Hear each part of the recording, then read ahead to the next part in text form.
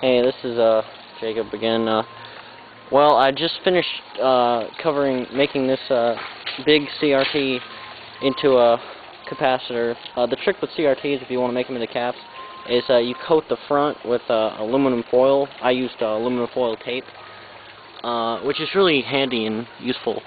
Uh, a number that I've heard for um, the uh, voltage tolerance on this kind of a capacitor is about 7 kV, which I found that true in earlier uh, capacitors that I've made, but really that's only because that uh, it will arc over from the side, from the metal part of the tube in the back uh, to uh, the front where you have uh, whatever plate that you have.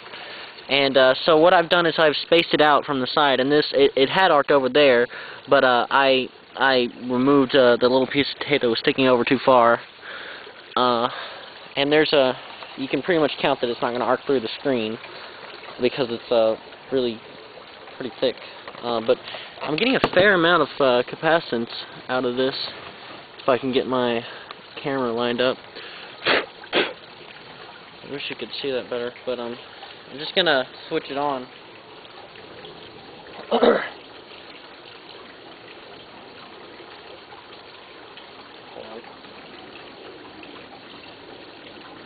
This is from a 15 kilovolt, uh, 30 milliamp uh, NST. As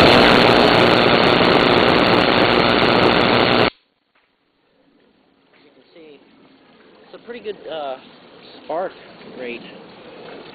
Wish that I could uh, calculate what kind of capacitance this has, except that you can't really find a uh, capacitance calculator for a CRT on the internet.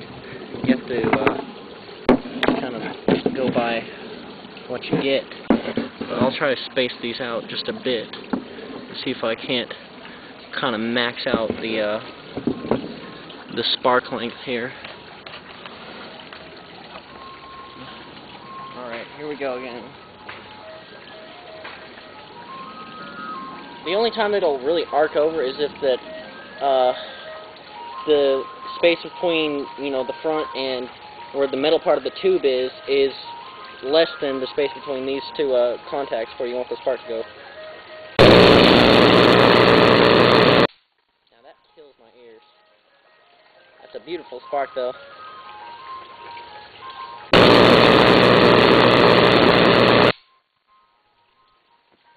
Yeah, anyways.